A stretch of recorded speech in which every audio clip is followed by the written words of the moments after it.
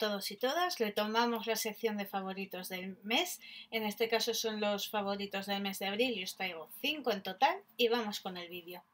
Bueno, el primer favorito del mes ha sido la película de La Bella y la Bestia. La fui a ver al cine a principios de abril, si no recuerdo mal la protagonizada por Emma Watson y la verdad es que es una película que me ha encantado, ya me gustaba la versión original de dibujos animados y pese a que cambia un par de escenas que no son las mismas, por ejemplo en la original hay una escena en la que explota el laboratorio del padre de Bella y aquí no aparece y en la original hay una canción cuando se va Bella que que no canta la bestia, pero que en esta película sí, pero es una película que me ha encantado y que desde luego se ha convertido en favorita. Luego otra cosa que tampoco os puedo enseñar, pero que ha sido favorito del mes, ha sido el Día de los Libros, el Día del Libro, como lo queráis llamar, que fue el 23 de abril. Yo recibí varios libros de regalos y es un día que me encanta siempre, ya que recibo libros que es casi lo que más me gusta.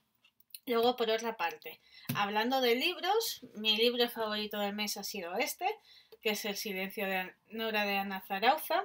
Me ha encantado, os lo recomiendo totalmente. Eh, ya habréis visto, veréis eh, la review o el wrap Y este es otro favorito del mes. Y luego ya de belleza en sí, tenemos un producto para el pelo, que es el RB de LAS, un hidratante campilar, que es que rehidrata el cabello y equilibra el cuero capelludo. Yo lo suelo usar para peinarme, es decir, por ejemplo, tengo el pelo seco por las mañanas, me madurno un poco, me voy echando así por el pelo y me deja el pelo muy bien, me quita mogollón el encrespamiento y no me lo he echado todavía. Y veis cómo lo tengo, que la bestia de la bella y la bestia se queda a mi lado, vamos, un aprendiz.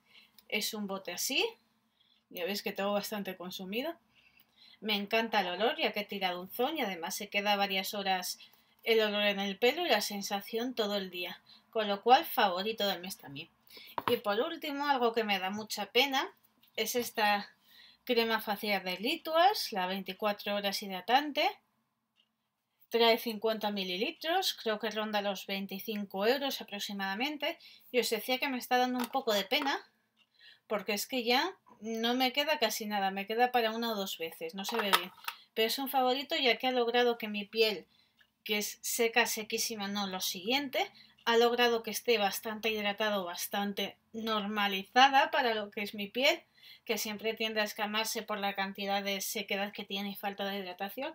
Y es un favorito favoritísimo.